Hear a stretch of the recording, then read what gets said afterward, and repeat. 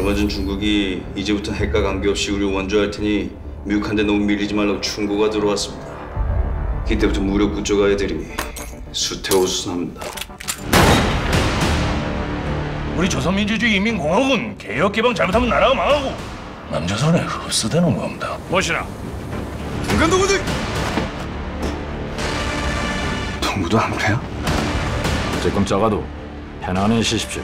미국 잠수함 추정 음파 감지 기회가 안 났을 길래 우리 용이같이 내 앞방인 줄 아네. 중국 애들한테 무수고 받아 처먹고 있지를 않는 거야. 그걸로 영어로 말씀하시라요.